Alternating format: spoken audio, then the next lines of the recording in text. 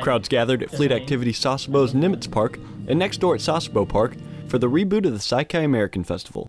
The festival originally ran from 1985 to 2002, but it's been dormant for over 13 years. The festival gave sailors, their families, and the local Japanese community the chance to come together to enjoy music, food, and fun.